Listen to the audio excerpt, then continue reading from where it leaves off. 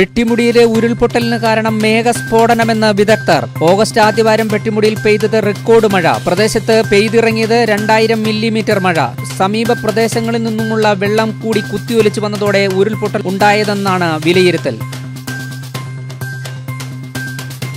പെട്ടിമുടി ദുരന്തം കാണാതായവർക്കുള്ള തിരച്ചിൽ താൽക്കാലികമായി അവസാനിപ്പിച്ചു. ആധുനിക സംവിധാനങ്ങളുടെ സഹായത്തോടെ ഇന്നലെയും തിരച്ചിൽ നടത്തിയെങ്കിലും ആരെയും കണ്ടെത്താനായില്ല. പുഴയിലെ ഒഴുക്ക് കുറഞ്ഞ ശേഷം വീണ്ടും തിരച്ചിൽ നടത്തുമെന്ന് Devikulam sub collector S Premkrishnan. ഇനി കണ്ടെത്താനുള്ളത് അഞ്ചുപേരെ കൂടി. മരിച്ചവരുടെ എണ്ണം അറുപത്തഞ്ചായി.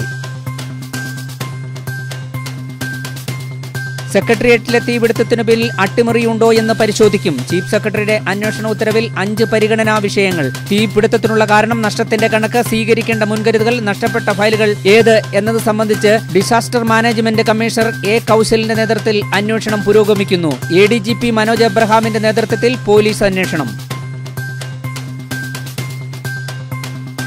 സെക്രട്ടേറിയറ്റിലെ തീപിടുത്തത്തിൽ വിശദീകരണവുമായി സർക്കാർ രംഗത്ത്. തീപിടുത്തത്തിന് കാരണം ഷോർട്ട് സർക്യൂട്ടാണെന്ന് മന്ത്രി E P Jayarajan. G A D political വിഭാഗത്തിൽ ചെറിയ തീപിടുത്തമാണ് ഉണ്ടായത്. മുൻപും പലതവണയും ഇത്തരം സംഭവങ്ങൾ ഉണ്ടായിട്ടുണ്ടെന്നും എൻ ഐക്ക് വേണ്ട ഫയലുകളെല്ലാം കൈമാറിയിട്ടുണ്ടെന്നും കത്തിപ്പോയ എല്ലാ ഫയലുകളുടെയും പകർപ്പ് കമ്പ്യൂട്ടറിൽ ലഭ്യമാണെന്നും ജയരാജൻ. തീപിടുത്തം ഉണ്ടായ ഉടനെ ബി ജെ പി കോൺഗ്രസ് നേതാക്കൾ സ്ഥലത്തെത്തിയത് ദുരൂഹമാണെന്നും ജയരാജന്റെ ആരോപണം.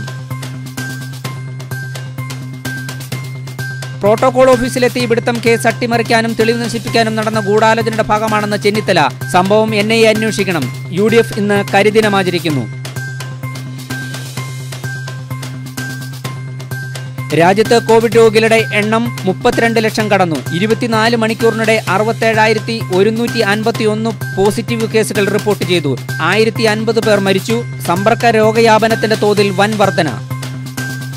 News in brief. നിങ്ങൾക്കായി സമർപ്പിച്ചത് രണ്ടായിരത്തി ഒന്നിൽ കോതമംഗലം രൂപതയുടെ കീഴിൽ ആരംഭിച്ച വിശ്വജ്യോതി എഞ്ചിനീയറിംഗ് കോളേജ്. കേരളത്തിലെ സെൽഫ് ഫിനാൻസ് എഞ്ചിനീയറിംഗ് കോളേജുകളിൽ മുഴുവൻ കോഴ്സുകൾക്കും നാഷണൽ ബോർഡ് ഓഫ് അക്രഡിറ്റേഷന്റെ അംഗീകാരം ലഭിച്ചിട്ടുള്ള ഏക കോളേജാണ് IELTS and German language coaching എന്നിവയും വിശ്വജ്യോതിയുടെ പ്രത്യേകതകളാണ്.